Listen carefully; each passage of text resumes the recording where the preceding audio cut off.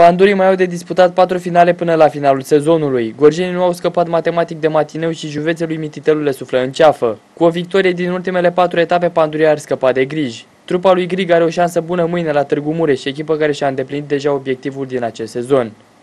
O echipă foarte puternică, care va dori sigur să-și ia revanșa după cel 4-1 din tur. Sper să-i recuperez din pudere fizic, dar și psihic de data asta, după această partidă și să putem uh, opune rezistență pe decât în partida de miercuri de la Târgu Mureș. Președintele Pandurilor Marin Condescu nu e îngrijorat. La cum joacă echipa este imposibil să retroladeze.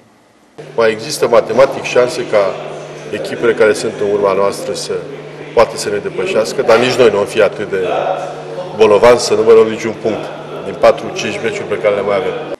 Partida dintre FCM Târgu Mureș și Pandurii Târgu Jiu se va disputa mâine cu începere de la ora 17.30. Meciul va fi arbitrat de o brigadă bucureșteană condusă la centru de Dragoș și Strate, ajutat la cele două linii de Eduard Ungureanu și Bogdan Gheorghe.